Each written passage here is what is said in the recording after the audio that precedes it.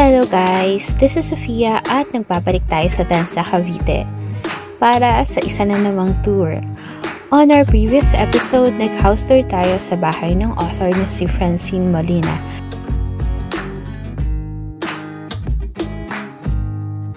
This time, tatambay naman tayo sa kanyang library na talagang pinaghirapan niyang wow. itayo at pinagmamalaki niya.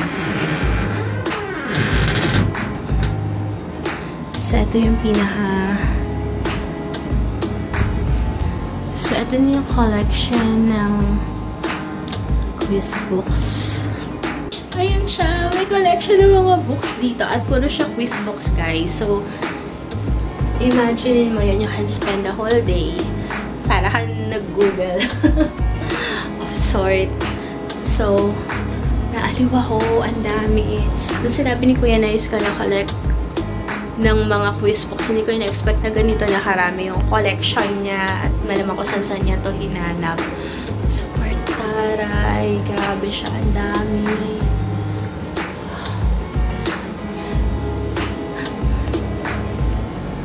He started collecting books when he was younger and I'm amazed with all the quiz and trivia books all in one room. This is fascinating and the room is very comfy. Ilang taon din niya kinolekta ang mga libro at pwedeng-pwede nang ilaban sa Guinness Book of World Records. Kaya shout out sa Guinness, beke naman! Pwede nyo nang dalawin ang library ni Kuya Franco. Kaya itong lahat nanto, alamin natin later grabe yung passion ng mga nagko-collect ng mga ganitong libro, like specifically quiz books.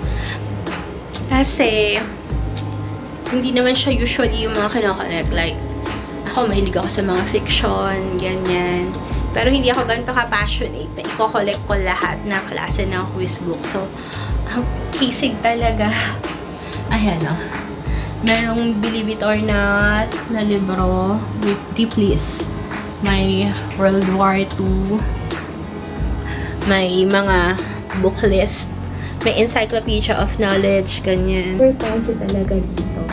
So, according kay Kuya Franco, itong mga books niya, uh, nag-start siyang kolektahan noong high school pa siya kasi sobrang hilig niyang mag-join sa mga quiz bees. Ayan, pareho kami. Ang difference lang, meron siya sariling library ako, tinatangkas ko yung library namin. Doon sa school, yung uwi ko. Pero yun nga.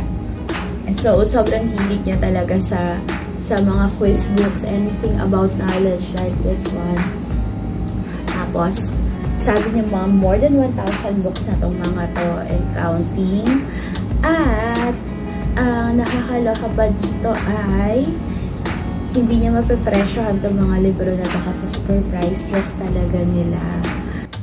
Anyway, veterano na rin siya sa mga game show, kaya ng Game Ka Na Ba at Who Wants to Be a Millionaire. Ayon sa kanya, di man siya nanalo ng jackpot sa naturang quiz shows, wagi pa rin siya at hindi bokya sa premyo. Who knows, baka sa susunod na game show niya, mahit na niya ang jackpot. But for now, malaking achievement na sa kanya ang library na ito na may collection ng quiz and trivia books. May iba pa siyang collection ng mga fiction books na iniipon niya, pero nakaiba pa rin ang collection niyang ito. At para ang sarap-sarap na dito lang, magbasa na magbasa at punuin mo ng maraming knowledge ang utak mo. So parang bumalik ulit ako sa high school at elementary.